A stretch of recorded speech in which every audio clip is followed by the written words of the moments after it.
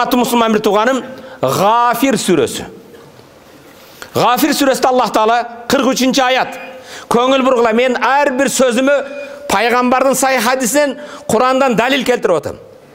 абадан алып сүйлөгөн жокмун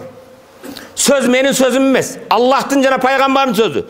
ғафир сүрөсү кырк үчүнчү аятта албетте ысырапкерчилик ысырапкорлор ысырап кылуучулар дозоктун ээлери дейт эмне экен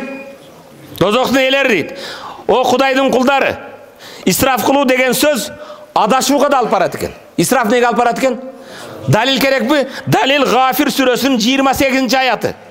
аллах айтат инналлаха албетте аллах ла яхди хидаят бербейт кимге я раб аллахым кимге хидаят туура багыт бербейсиң ман хуа мусрифун каззаб исраф кылуучу жалганчыга дейт исрапкор калпычыга аллах хидаят туура иман жолун бербейт дейт иман жолунда ислам жолунда бекем болом десек исрафка эшигин жабышыбыз керек исрафтан алыш болушубуз керек аллах табарак ва таала зухруф сүрөсүнүн бешинчи аяты зухруф сүрөсүнүн бешинчи аяты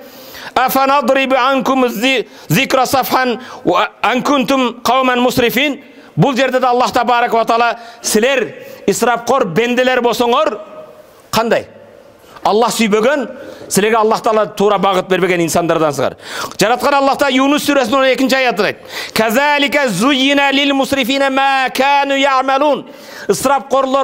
шайтан кылган иштерин кооз кылып көрсөтүп коет дейт тойго барасың алтыда башталат бирге чейин э мынча ашказаның бар жарым саатта тоесуң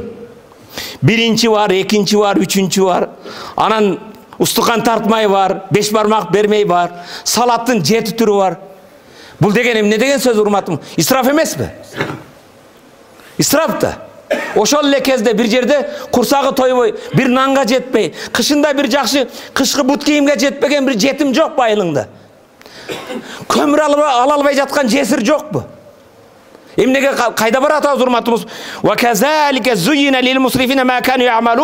шайтан исраф кылуучуларга кылган ишин кооз кылып көрсөтүп коет мен жайладым дейт мен тойго дейт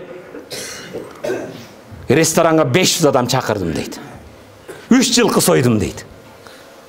э урматтуу мусулман бир тууганым россияда новосибирде базарком болгон бир орус аял айтат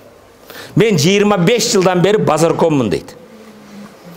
кыргызстандын балдары келип дворник дейт эмне экен базарда базарды шыпырган бала дейт бир күн төтмаша мага уруксат бер үйлөнүп келем деди дейт үч жылдан бери менин колумда иштейт дейт отуз беш миң кырк миңге жакын айлык алат дейт барып үйлөндү бир эки айдан кийин келди кайра дейт новосибирге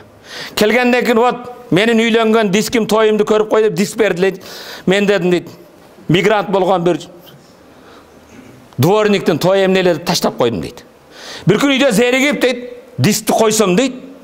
бая менин дворнигим жети жипти келатат дейт бабушка тагып алыптыр дейт как губернатор дейт жети жип дейт жетөө тең окшош капкара дейт ресторанга келсе үч жүз адам бар дейт беш саат той бериптир дейт подаркалар башкаларды кара дейт мен жыйырма беш жыл базарком болгон баламды үйлөгөндө жыйырмага жетпеген адам чакырып той бергенмин дейт э бул үч жылда тапкан акчасын барып үч күн эмес бир күндө чачып келиптир дейт э ошол келип өзүнө бир там салып алса боло беле бир пескоблок чыгара турган бир станок алып четте иштесе боло беле ошо баланы келип мына айылда могу мектепке бир компьютер алып бер десең бербейт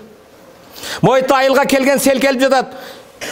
бир эки машина шагыл түшүрүп жол тосойлу селдин жол бербейт ал.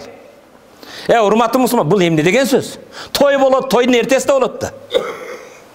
ушул жерде мына отурган аталардан сураглачы ошентип үйлөндү беле кудайыма шүгүр бактылуу болуп эле жашап атат э ал үйлөнө турган кыздын фатасын телевизор көйнөгүн бир күнгө жүз миңге арендага алат экен э бул эмне деген сөз ей сен ошону кийсең эле француз болуп каласыңбы сен баягы эле кыргыздын кызысың